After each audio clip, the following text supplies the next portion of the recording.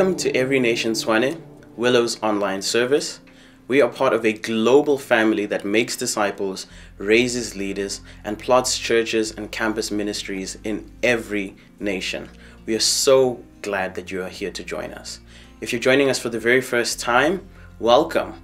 We do have a link within the comment section. You can go ahead and check that out. We'd love to learn who you are, and you can find out more about who we are as a spiritual family. A big congratulations to any of you who celebrated something in the past week. Please do let us know in the comments. We'd love to celebrate with you. We're excited to announce that our devotions will be having a bit of a shake-up. A lot more people are going to work and going to school, so they can't tune in to the times that we previously had. We will now be having our Tuesday devotionals from 7 to 7:30 in the morning, and on Thursdays from half past 8 in the evening to 9 p.m. All will still be on our Every Nation Willows PM Instagram page as well as our live Facebook page. So do tune in. Just a reminder that our Helping Without Hurting training will be taking place for six weeks from the 18th of August. The Helping Without Hurting training is designed to help Christians think differently about poverty and to take a generous, relational, prayerful, and patient approach to poverty alleviation. Some questions we ask how can I help? What if I help and a certain person does this or that? These are some of the questions that the training will address. On top of that, there will be additional resources available on the Every Nation Tshwane website. Now, we're super excited because we will be having our Every Nation Willows PM online Zoom social. Now, we're not physically meeting, but we'll still be meeting. On the 28th of August, 7 p.m., more details will follow on our WhatsApp community group. Do stay tuned for that. Now, with that, I'm going to transition over. Let us turn our focus to God as we enter a time of worship. Hi everyone, my name is Riani. As I was preparing over this week for today, I really felt on my heart that no matter what we're going through, no matter what type of day you're having, even, you can choose to see God's goodness in that day. You can choose to proclaim God's goodness. So, in light thereof, won't you just join me in standing up, get a little groove going, and let's proclaim that God is good.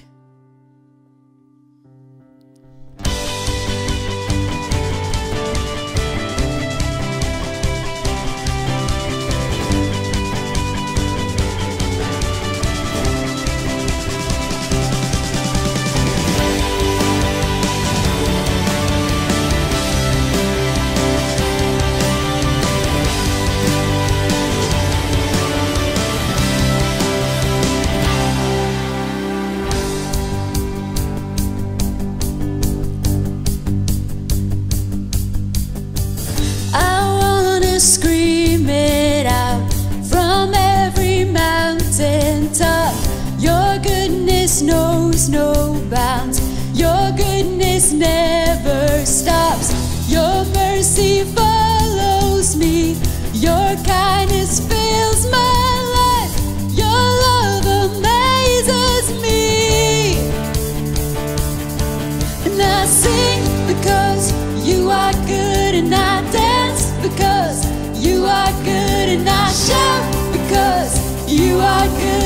This you are good to dark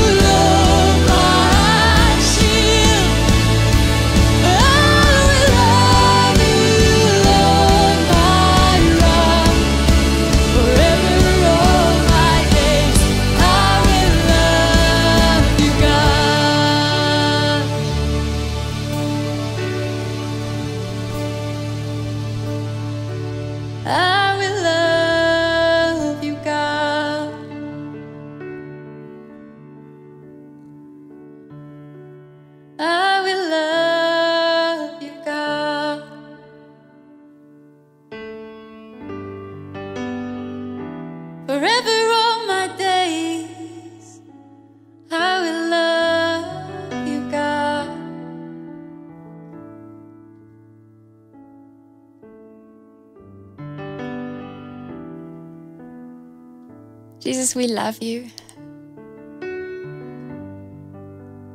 Thank you that, that you are part of our lives, that we can look to you.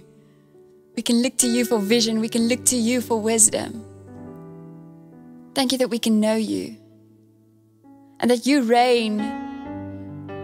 You reign forever. You reign in all situations. You reign over our lives. And we just declare that tonight. Thank you, worship team. Always amazing to hear from you guys, friends and family. It's my honor to introduce our guest pastor for this evening, Pastor Joey Bonifacio, all the way from Singapore. Pastor Joey is part of our international apostolic ministry team and also an author of six books. Of one is the Lego Principle, in which he just describes uh, the principles of discipleship, a value that we truly hold so dearly at every nation. Pastor Joey, we are so excited to have you with us and honorable to have you with us as well. And let us, before we start, just go into a moment of prayer. Father, I want to thank you for Pastor Joey's life. I want to thank you for this opportunity to hear from you. Thank you that you've revealed yourself in your scriptures to us. And Father, may you come and open our hearts tonight to us. May you come and dissect our hearts so we can accept your truth in love. And may this just truly live into a space of evangelism, into a space of the gospel being unlocked, as we've seen in this week with our Leaders Ignite, themed Empower, unlocking the gospel. We know that you are not locked into this lockdown period, but Father, you extend above all time, matter, and space. And may this truly just honor you and you alone. In your mighty name we ask this. Amen.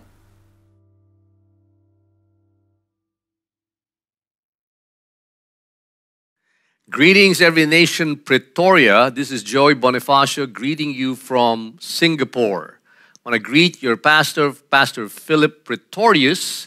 Not very many churches have are in the city Pretoria and with a pastor named Pretorius. Once upon a time, I was in a city called Fort Bonifacio and I was a pastor there. Rare for having something like someone like Pastor Philip. Greetings to all of you. Before I get into the word this morning, let me give you a quick introduction of my family. This picture that you see here is of my oldest son, his wife, and at, at that time, his one son. And what he did was everywhere he went, he took a picture of his wife and his son on top of him. And he would do this everywhere in different parts of the world, different buildings, sometimes in mountaintops and, and all of that. And now, just recently, about a year ago, he had another child. And I guess that practice is over. Not going to do that anymore because he can't have that baby on top of his other son. My second son, David, is this picture with his son Elijah. My third son is Joshua, and he's got two children. One is Lucas, and the other one is Sophie. These are my five grandchildren, my three sons, and my three daughters in law. And I want to let you know that families and life is next to Jesus, is what it's all about. My message today is connected to the time when I was very young. This is a picture of me when I was very young. I was 19 years old, and I had a very complicated life. And in that process, I knew that the only way to live life was to turn things simple. I want to talk to you today about simple faith. A few years ago, I wrote a book called The Lego Principle, and the idea behind that was to have simple faith. One of the sections in that book, the third section of the book, is about simple means clear values. The entire section on values is rooted in this, this teaching I'm about to teach you. In Matthew chapter 6, verse 19, it says, Do not lay for yourselves treasures. These are values. And it says that where you lay them up or where you store them matters. If you store them on earth, then it can be stolen and rust can destroy it. But if you store them in these treasures in heaven, they cannot be stolen and thieves cannot break in and steal. Further, it says down in verse 21 For where your treasure is, there your heart will be also. Three times the Bible tells us this word treasure, treasure, and treasure. Jesus is highlighting the importance of these treasures or these values. Then he goes on to say, Isn't God more valuable than money that you can't serve him? You cannot serve God or money. These are our finances. Then he says, Your life isn't life more important than food. He's talking about the word life here is the word suke, that which has breath, not zoe, a God kind of life, not bios, which is a physical life, but relationships, the people around you that have breath. And he's saying, Isn't life more important than food or trophy? What you consume, what you enjoy, what fulfills you. He goes on to ask the question Isn't your body more important than clothes? He's talking about health. And the other side of that is clothes or things or induma. Now, the Bible tells us that these are ultimately what's valuable God, relationships, health, and finances or money. That if all of these four values were working in our lives, then food would be easy. Reality is, food is not as valuable because they can disappear overnight. The best food that you can ever eat, biltong for that matter, in six hours will all look like and smell alike. Then you have clothes that are out of fashion even today with COVID. Ultimately, the only thing that's really valuable are God, our relationships, our health, and our finances. A good way of looking at this would be like a bucket, a bucket that has three sides. One side would be our relationships, the other side would be our health, and the other side would be our finances. Now, it doesn't matter if all of these sides were working, if the bottom of the bucket was had a hole in it, everything we put in there is going to go through, and that's why we need the foundation of God. The spiritual, more than just the relational, more than just the physical, and more than just the financial. A better way of looking at this is to look at these things from the per- perspective of as you put things in life, if one side of this bucket is not very strong, or one side is very strong and another side is not very strong, then that's where the quality of your life diminishes. Because at some point, all of these things must come together. And thus, we need God. Because He said, if we seek God first and His righteousness, all these things will be given to us as well. Now, values do overlap. And simple means it's not easy. It's not easy to make our relationships, our health, our finances, and even our spiritual life work. A good way of looking at that would be to look at the bucket from a top view.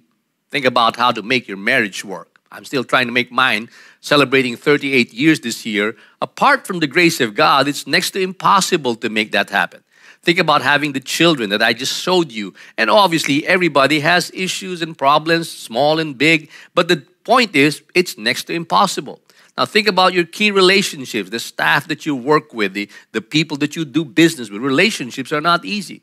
Start thinking about your health and the need for nutrition, the need for rest, and the need for exercise. And now start thinking about how much you earn in a COVID situation, how much to save, and where to invest. The problem we have is we often put not God in the bottom, but we put ourselves. And so the pressure of all of this starts to build up because it's me trying to carry my marriage, my family, my key relationships, my nutrition, my rest. Not that you shouldn't be responsible for these things, but you need to put God first. The question is, how do you do that? How do I put God first? Well, the key is to pray. When you pray, what you're effectively doing is you're saying, God, I know I can't make this day work without you. Fact, I don't even want to start the day without you. Today, I prayed multiple times, and despite all of that, there were still issues. That means I need to never stop praying because praying takes my mind away from God. And every time I pray, there's a stability in my life that stands ready to face whatever it is I'm going through. Secondly, I meditate on the Word. That is a powerful truth. Every time you have stress and every time you have issues in life, you meditate on the Word of God, and that mind becomes stayed. It stops. It stops wandering around and running amok and worrying about things it shouldn't worry about because God said, if you worry about anything, do not worry about anything, but in everything through prayer and petition and thanksgiving. Make your requests known to God, and His peace that surpasses all understanding will guard your heart and your mind in Christ Jesus. And thirdly, is to proclaim the gospel, to keep reminding yourself that there is now no condemnation to those who are in Christ Jesus. And lastly, to learn how to fellowship with other believers.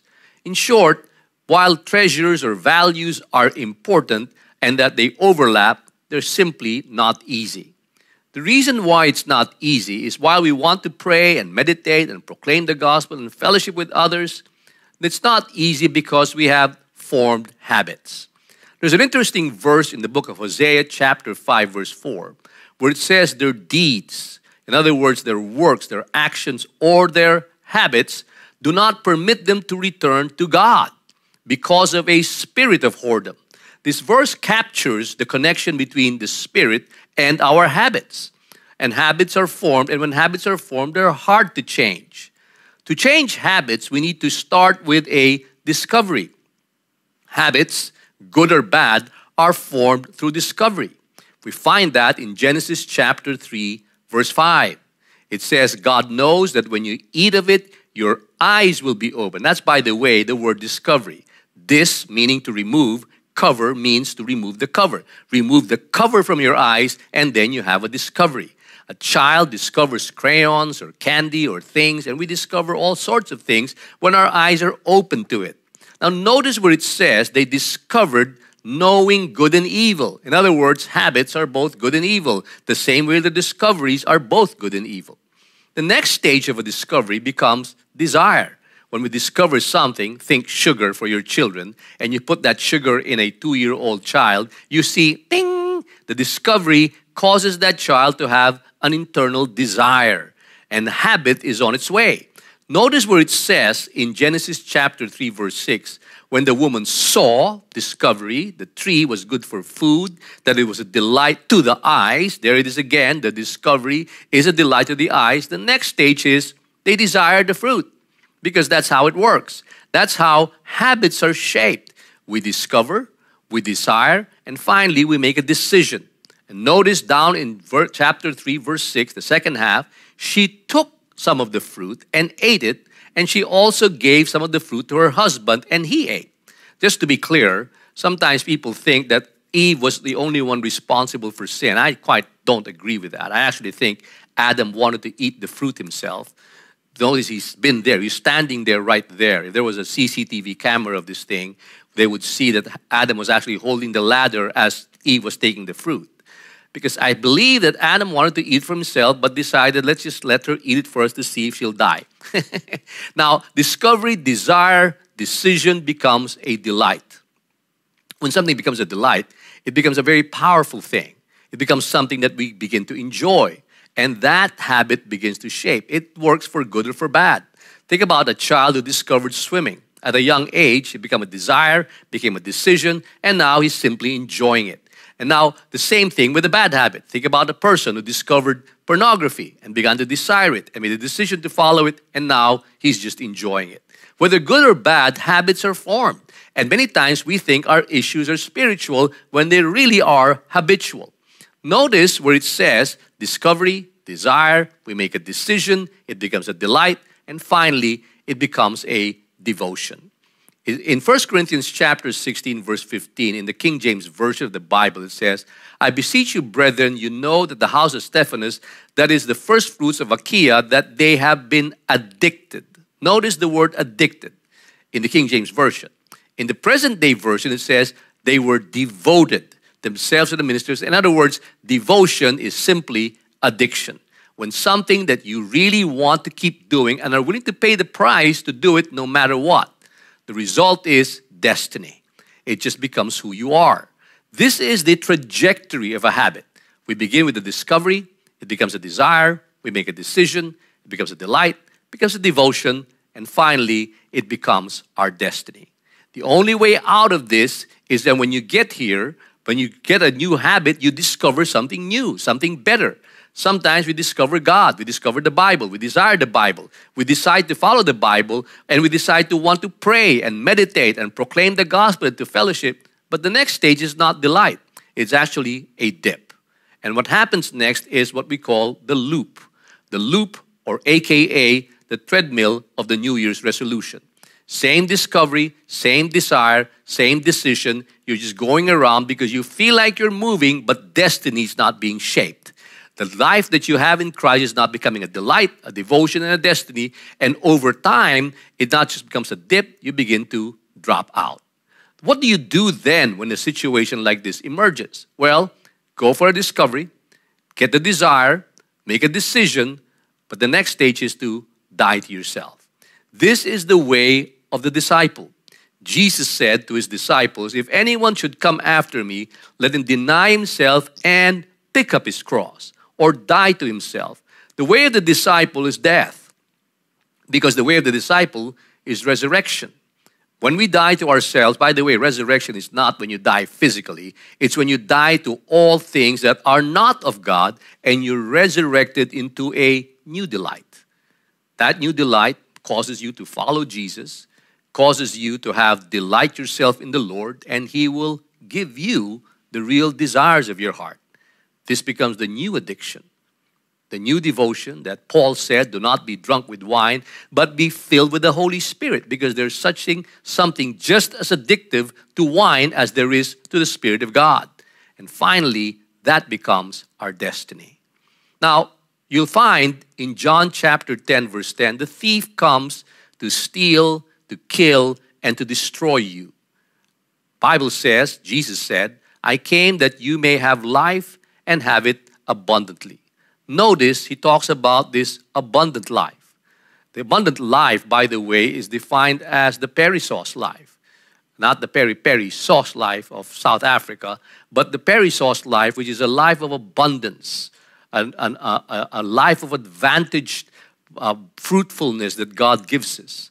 But the Bible also tells us that there's a thief. And what does the thief do?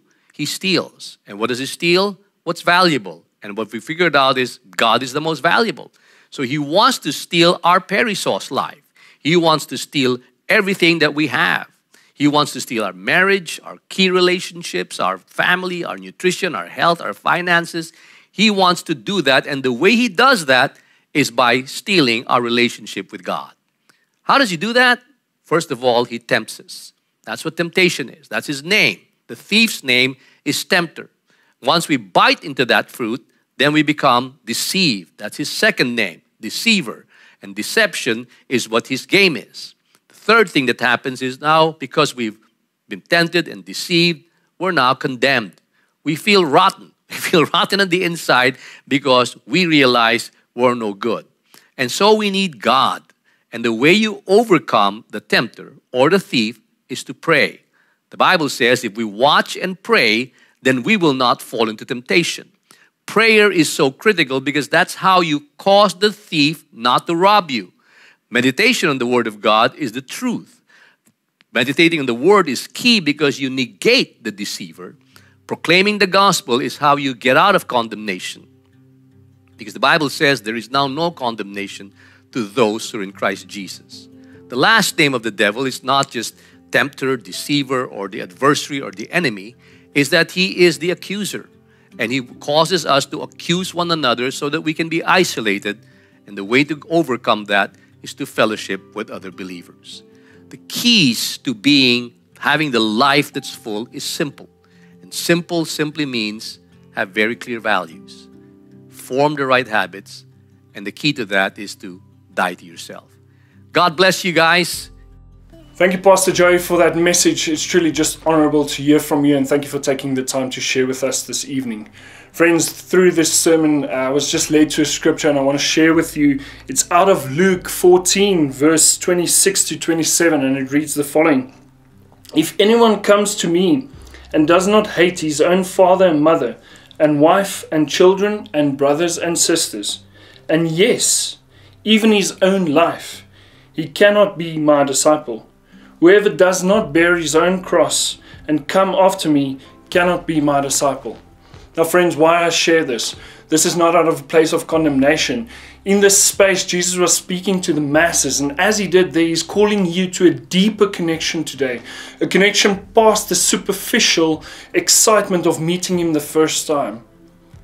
On the way to the sermon, yeah, I actually drove past a crossing where I lost a friend 10 years ago at the ripe age of 18 years old.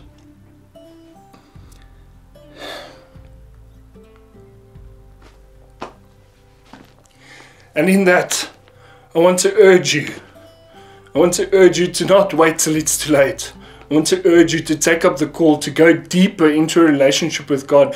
Let's not be stuck in that loop of mild Christians, but let's be alive for the gospel to unlock the gospel in this time with so many people that need to hear this gospel. We're in a burning house, and it's out of love that we can save others with this.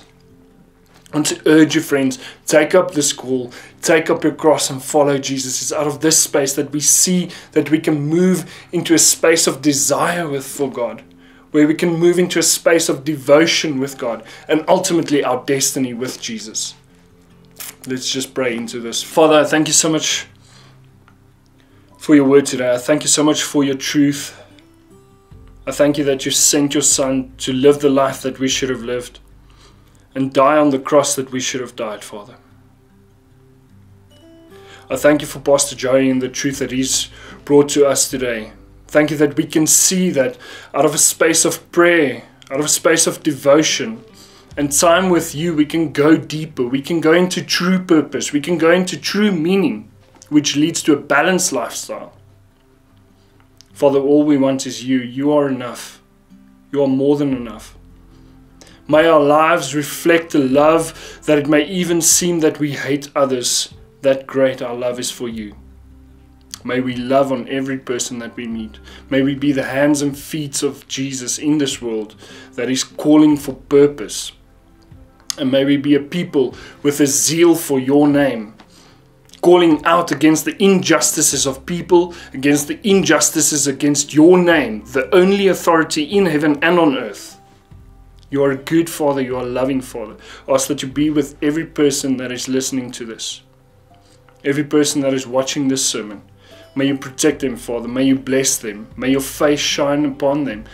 And may you save them from their eternal damnation, Father.